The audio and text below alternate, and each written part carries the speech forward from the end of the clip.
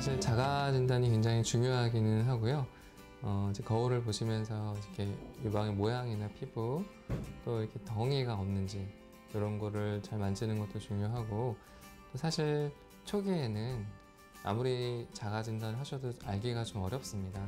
평상시에 다른 그런 것 증상이 생기시면 어, 유방 전문의 선생님 찾아가셔가지고 유방 초음파를 추가로 하시면서 여러 진찰을 받으시는 게 가장 중요하겠습니다.